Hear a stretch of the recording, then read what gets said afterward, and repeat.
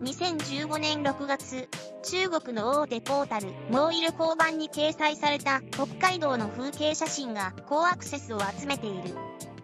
写真が掲載されたのが2013年末のようだが、今になって、その写真の美しさが注目され、日本の大自然や環境の美しさを称賛するコメントが次々と寄せられている。雪原選挙、白鳥と雪にまみれる、と題されたその作品は、北海道の厳しい冬の自然を捉えたもの。青白く光る空と一面の雪原、そこで羽を休める白鳥の大群が収まっている。透明感あふれるその光景に、多くのネットユーザーが、日本への憧れを爆発させた。以下は寄せられたコメントの一部。日本人として生まれるか、中国人として生まれるか。もし選べるのなら、どちらがいい？美しい環境、発達したテクノロジー、頼もしい国家首脳、クリーンな官僚たち。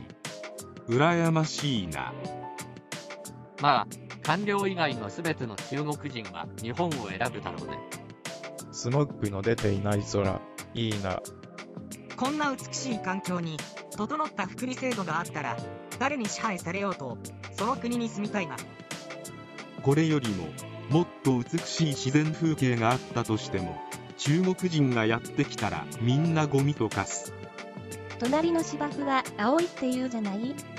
中国にも綺麗なところいっぱいあるよ。